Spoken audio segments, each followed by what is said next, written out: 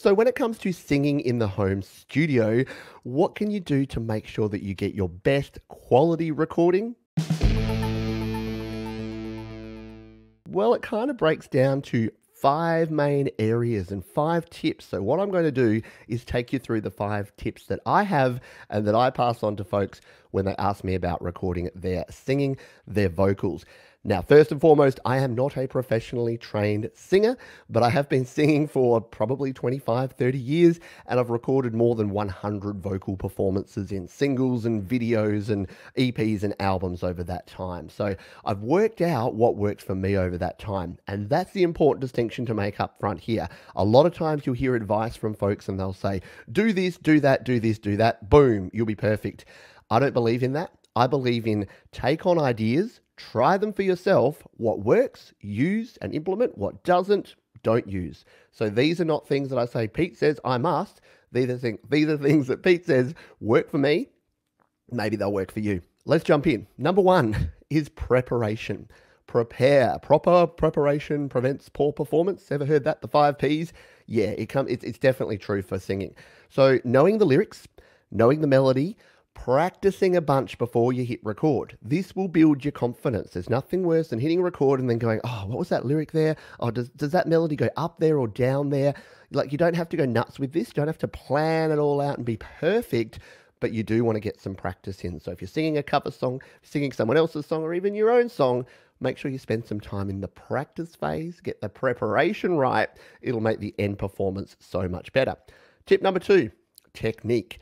Now, specifically mic technique, because when you're singing, you're generally using a microphone of some description. So, number one tip is not to eat the mic. I know when you see those posters and things, people are so close up on the mic that it's like, yeah, it's like they're actually eating the microphone. Now, that that may work on a live stage. So, if you're using a, a, a studio, not a studio, if you're using a dynamic microphone on stage, an SM58, something like that, then yeah, you might need to get up close on that thing to prevent feedback and to prevent interference and other things. However, in the studio, especially if you're using a condenser microphone, give yourself about 20 centimeters, you know, around about eight inches away from the microphone. You're going to get a more balanced signal. Using a pop filter is also highly recommended. So, some sort of pop filter, pop shield, foam cover. It means your popping P's won't be as poppy and your sibilant S's won't be as hissy. So, mic technique and the stuff you use with your microphone, tip number two. Number three, microphone choice. Now, you may need to use the mic you have, and that's cool. But if you're using the mic you have, experiment with it. Learn how to get the best sound. Get the best you can from the equipment you already have. That's always my number one tip when it comes to gear. But if you're considering upgrading, think about your voice. My voice is loud, so oftentimes I'll use a dynamic microphone. If I'm singing a loud rock song, I want a dynamic mic. So if you're a metal singer, if you're a rock singer, if you've got a really loud, booming voice, you may want to go for something simple like a, an SM58 or an AKG D5, one of these dynamic cardioid microphones, the handheld style.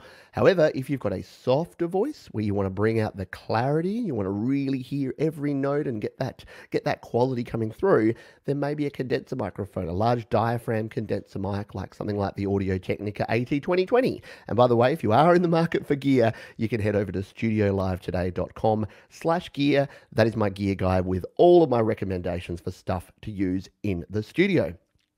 Tip number four speaking of gear, what other gear do you need? Well, you don't really need anything, but the one bit of kit that is pretty important when you're singing, or at least when you're recording and singing in the home studio, is your cans, your headphones. So I recommend closed back headphones. These are the Sennheiser HD280 Pro. If you're watching on the video, if you're listening on the podcast, you can look those up or check out uh, studiolivetoday.com slash gear.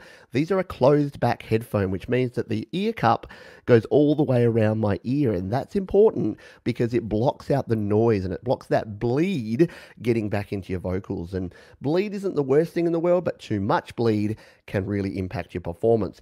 The other thing is your audio interface, whatever you're plugging into, and again, even if it's just plugging into your phone, whatever it is, if you can set the input gain, try to set that gain so that it's right in the sweet spot. If it's too low, you're not going to get enough volume through. If it's too high, it's going to be clipping. You want to be aiming to hit about 50 to 70% on your input meters. That will give you the best possible quality while still getting a nice signal through. And finally, your output of the actual recording. So, whatever you're singing along to, make sure that that level is high enough that you can hear it, but low enough that it's not going to bleed through and you're still going to be able to hear your own vocals, your own singing. So, just play around with that balance until you find, again, what works for you because what works for you may not be what works for other people. I know vocalists that need really loud audio into their headphones. It's the only way that they can really get into the song.